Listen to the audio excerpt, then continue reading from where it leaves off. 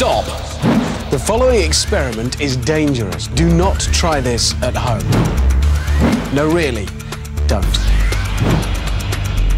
Petrol is, of course, highly inflammable. When it's in a confined space, like a balloon, it becomes the explosive part of a bomb. When the foil attached to the balloon reacts with the microwaves, it produces a spark, which ignites the petrol and produces a fiery explosion.